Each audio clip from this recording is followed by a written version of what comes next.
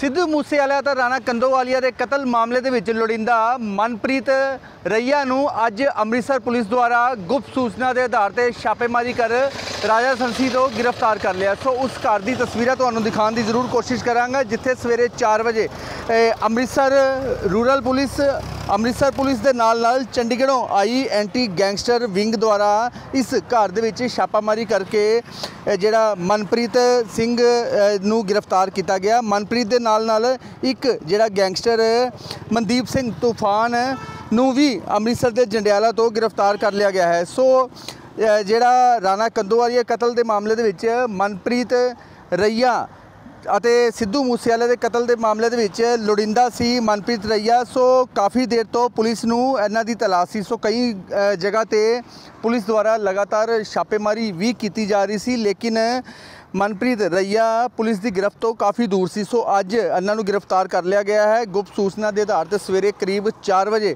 ਇਸ ਜਗ੍ਹਾ ਤੇ ਪੁਲਿਸ ਦੁਆਰਾ ਰੇਡ ਕੀਤੀ ਗਈ ਹੈ। ਅਲੱਗ-ਅਲੱਗ ਟੀਮਾਂ ਜ਼ਰੂਰ ਬਣਾਈਆਂ ਗਈਆਂ ਸੀ।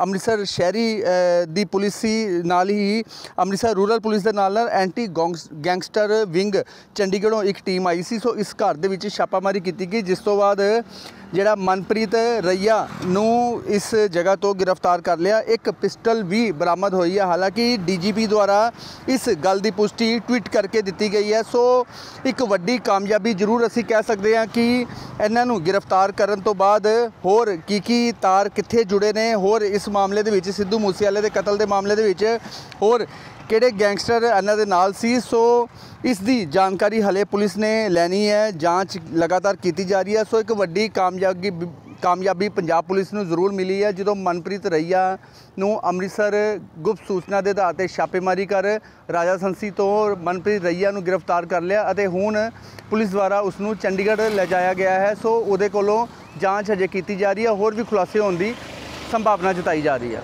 ਅਮਿਤ ਸ਼ਰਮਾ, ਪੰਜਾਬ ਤੱਕ, ਅੰਮ੍ਰਿਤਸਰ।